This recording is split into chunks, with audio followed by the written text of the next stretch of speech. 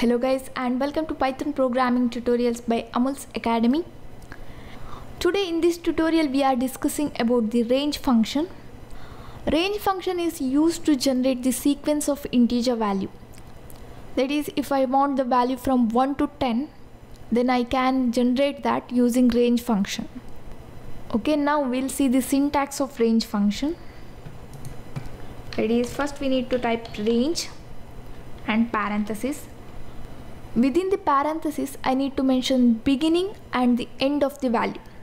That is if I want the value from 1 to 10 then I need to mention 1 here then here 11 because 1 is included in the values and 11 is excluded so if I want value from 1 to 10 then I need to mention 1 and 11 here. Okay now we'll see the example for this range function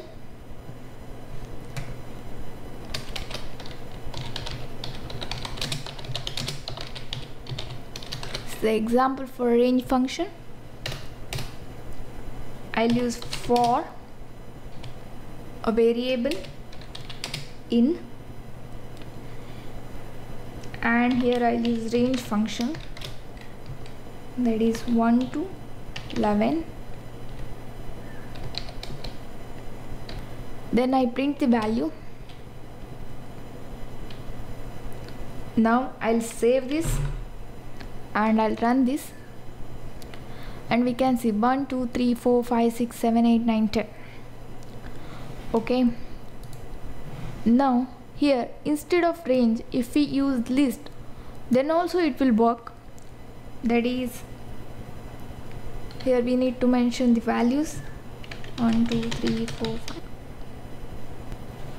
if we save this and run this we can see the same output right?